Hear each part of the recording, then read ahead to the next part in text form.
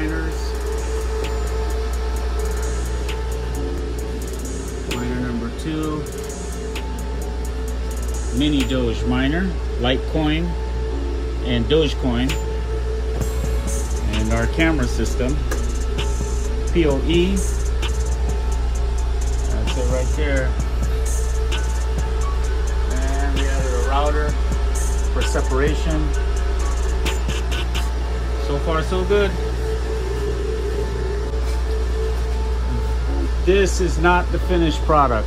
Basically I had to leave coil slack because we're going to mount all those cables on the wall neatly in loops and then run it to my my switch so we're running a GW Security Platinum 7638 I think but there she goes anyway guys thanks for watching my work. That again do not judge me on that. That's just because this this is the rough work.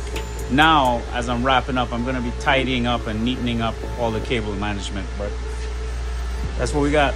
That's my project. That's what I worked on for the last two weeks. God bless